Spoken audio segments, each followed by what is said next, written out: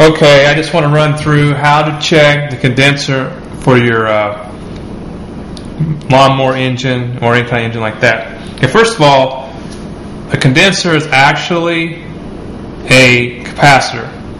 And what that means is is that this stores energy, stores a charge. And first of all, you need to be safe because if, if this is charged up and you were to touch here and here, short it out with yourself, and you put your finger between that, you could actually kill yourself. There could be enough charge build up in it to do that. So you always would want to take a screwdriver and discharge it, intercept the metal between the two before you ever touch this.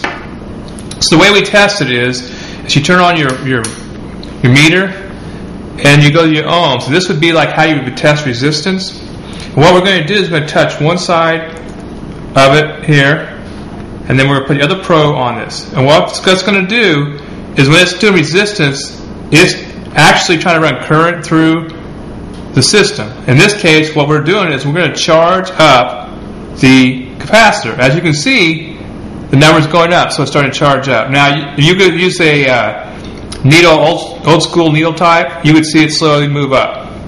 Okay, so at this point, see, we're charging up. Now we're going to take this off, and we're going to switch this to DC. Okay, now what we're going to do is see if there's a voltage on here still.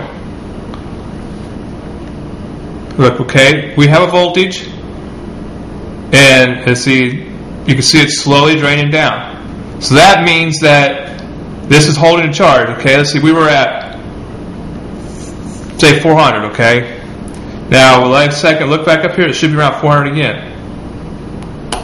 Whoops.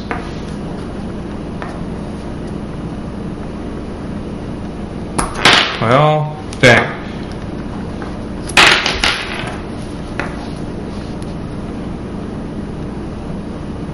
Okay, we're not. Yeah, okay, there we are.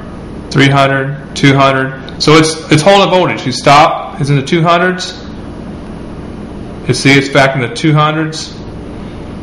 Now, if you had a, like I say, a needle type meter, what that would do, it would slowly start to come down. That's going to tell you now. If you had done this and there was no charge ever taken onto it, you know this is bad. Or if you had taken after you charged if you take it off and you instantly undischarged, you would know it's bad. So in this case, I believe this one's good, and I'm going to short it out there so that I don't touch myself and shock, shock myself when I uh, go to put it back in. So I know this is not bad, so I got to look for my problem someplace else.